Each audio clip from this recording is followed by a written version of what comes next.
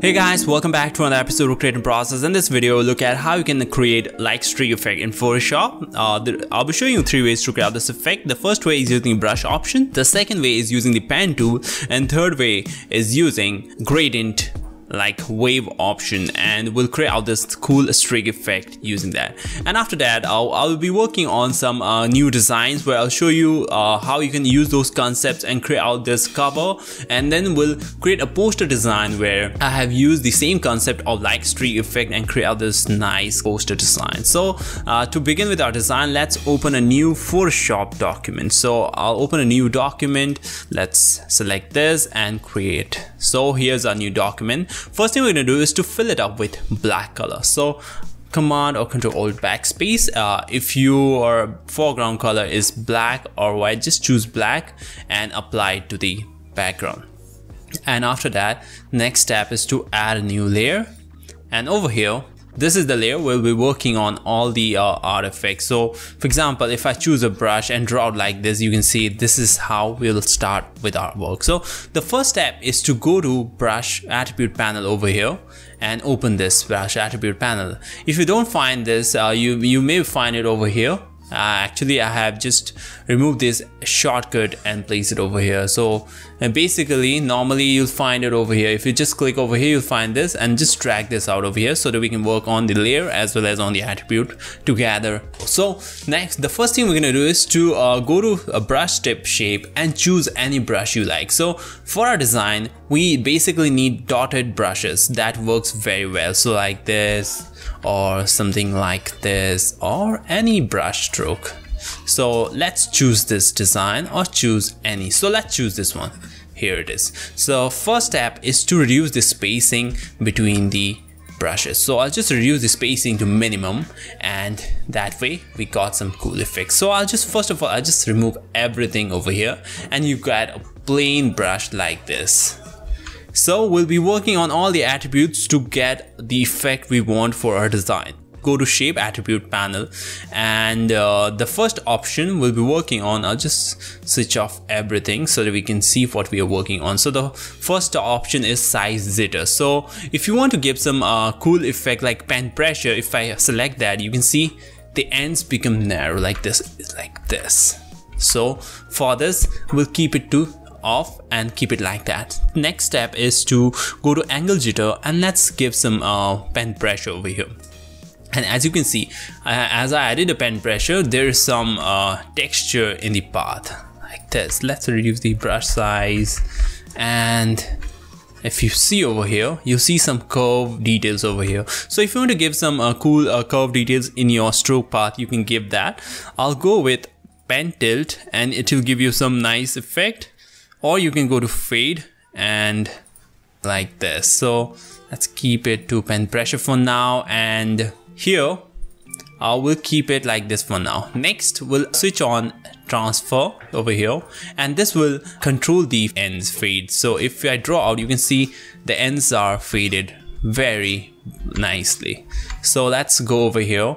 And first thing we're gonna do is to set the attributes option. So if I keep it to fade it doesn't work well. So I'll keep it to pen pressure and like this. It works according to the pen pressure. Here also you can switch from anything. So here like this or pen pressure. Like this. So everything works nicely with pen pressure. So basically uh, keep it a pen pressure for both these options. And after that we'll just switch on this smooth option so that we got some nice smooth brush strokes. So I'll go over here to shape dynamics. And we'll be doing all the tweaking and stuff for our brush design. So if I increase the brush jitter, you can see you see some particles in the brush stroke. So as you can see, if you want to give some nice cool design like this, you can give that and uh, let's reduce it to zero. Now if I go over here and keep it to fade, you see some changes in the brush style. See, so this style of design is used basically in many ways if you check out one of our examples. So this one is created using this brush stroke style. So you can go with that or pen pressure where you give some a nice random design like this or pen tilt it will give some different effect and some more variation in the stroke. So I go with fade it gives you nice cool effect or pen pressure like that. Now once all the brush settings are done next thing we're gonna do is to work with the glow effect. So for that double click on the layer and first thing we'll add is outer glow. So let's add outer glow. And uh, before that let's draw out some text. So any design so I'll just type out one text like this type or something like this a like this okay? And let's apply the effect. So first thing we'll apply is the outer glow. Just click on it outer glow and you got outer glow effect over here. You can tweak the color. So you can get any color you like. So I'll choose some blue color little dark and uh, set the opacity to full we'll keep it soft and adjust the size of the glow so we'll keep it around here. Uh, over here if you adjust the range you can increase the harshness of the uh, glow over here. So if you want to keep it very low glow you can increase the range or decrease it so that you can give a harsh glow. So I'll keep it around medium so that we got a nice glowing effect over there. Next we'll add inner glow. So inner glow will give you the inner color tone to your design. So over here I'll reduce the size to zero and everything and we'll set the the range. So as you can see adjusting the range give you some glowing effect. So we'll keep it in the medium and edge the size as well to soften the uh, inner glow color. So we'll keep it around like this. And let's adjust the color as our color is blue so I'll choose some light blue color tone for our inner glow and click OK. So that way you can give some color tone to your design. And now if I erase this out and draw out anything you see that our glowing effect has been applied to our brush. And that way you can create any design you like. So you want to type out A B C D. Anything you can just type it out. One more thing you can do over here is to add more effect or more uh, classy look. We'll add a gradient on top. So apply a gradient and choose some gradient color tone from here. So I'll just choose this multiple color layer and click OK and then click OK. Now we'll change the blend mode to hue. And what it does is you got a nice color over here. For example, if I just draw anything and you can see it gives you some rainbow color tone and that gives you some cool color effect to your brush strokes. Now if I play around with this fade you see some interesting design coming up. Using this technique, you can create some cool artwork or anything you like like this. I'll just add one more layer, just shift this effects to this with the alt press and apply it over here and it will create a duplicate of the effects. Now I'll just change the brush and draw something like this or maybe some nice cool effect like this this. So if I over here if I apply pen pressure you can see the pen pressure will give you some interesting look like that.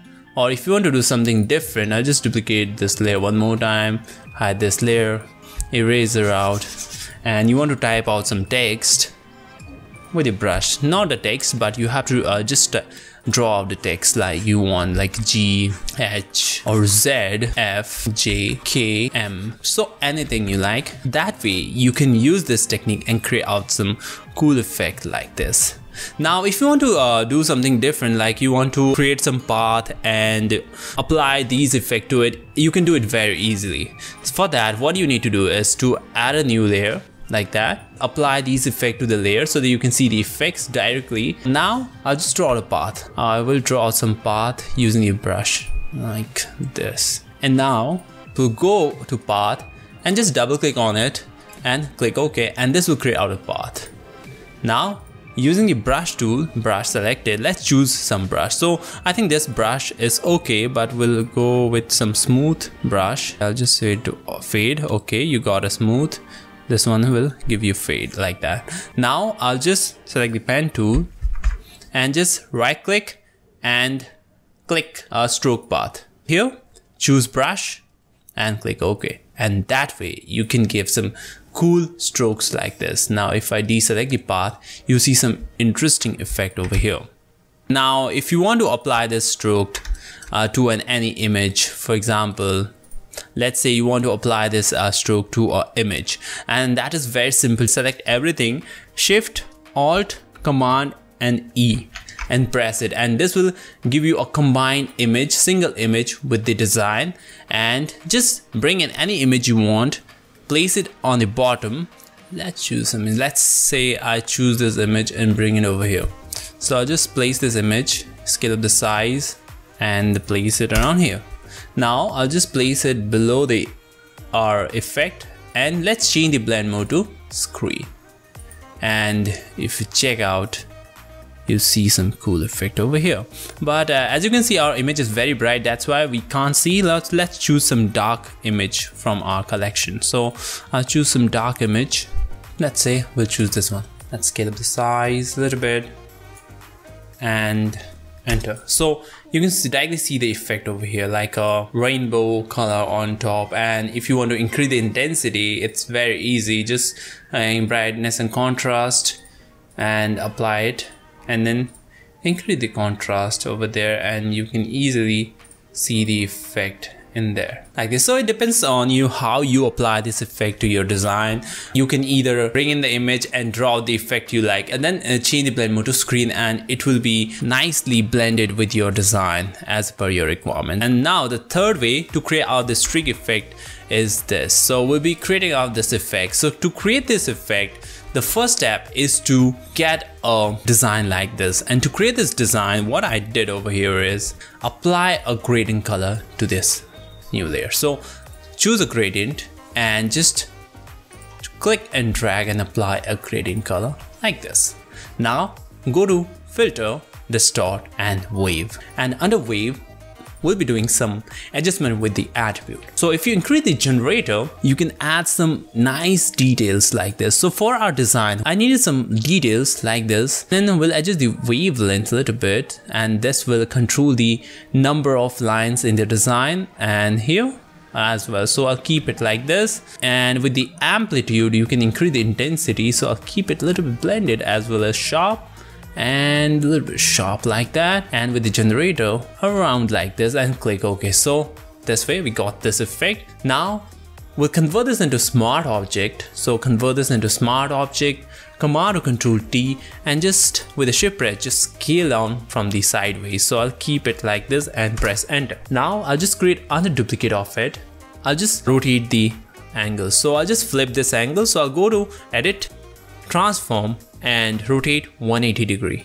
And that way you got a flip image of that. So now I'll apply a mask to this.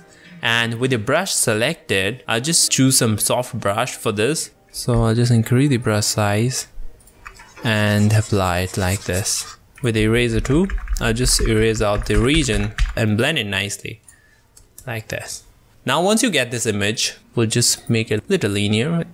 Opacity a little bit down like that. Now select both group them up and with command shift alt and e create a duplicate of the image and uh, convert this into smart object. And now let's create a new document just similar to this. So i'll just create a new document and over here just drag that image. So i'll just click and drag and drop it over here. And command control t just rotate it 45 degree angle like this and place it around here. So here is our image. Let's change the background color to black and let's work out to create a design similar to this. Uh, I just double clicked on this and under effects panel I have added color overlay and gradient overlay. So gradient overlay is there uh, with the color attribute panel just like this and applied some color tone and then I have added some color overlay with some little color tone to blend it with the design. So we'll do the same over here as well. So double click on it and apply gradient overlay. And here is our gradient. Um, I think that it was the same gradient which I have applied over there but I think this looks good. But over here well, the main thing we need to do is to adjust the angle of rotation so as you can see uh, it's in different angles so we have to set accordingly. So I think our angle was minus 45 so keep it minus 45 and that will match it properly. One more thing you need to do is uh, you need to change the blend mode to multiply. If you uh, give it overlay you'll see some uh, a glossy effect. I don't want that. So we need to give some nice blending. With the multiply you get that.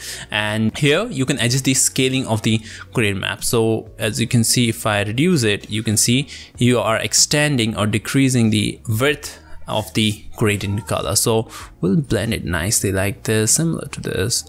Okay that way. And you can reduce a little bit more so that you can give that light bluish at the end and green at the end and for the gradient colors what I did over here is that I applied blue color for the first light blue then dark blue for the medium. Over here for the third panel I have applied some uh, magenta pink color. You can use this color codes and you'll get the same effect. So for the uh, this red one I have chosen this red color. Use this color code and you'll get the effect. Then for this yellow use this color code. I have chosen from the corner directly and last one is the green color. So use this color code. This is a little faded color so you have to be careful and then click ok. And after that you get this nice cool gradient effect. Now as you can see it's a little dull and we need some color correction so i have added some gradient overlay. Adding a color overlay on top will give you some different like it's not necessary but you can give it and you get some nice design like this. So I'll apply color overlay and click OK. Now to add a little bit of uh, contrast to your design I choose a gradient curve and let's increase the density like this a little bit. And you get some details in the design. So that way I have created this design and it's the same technique which we have used.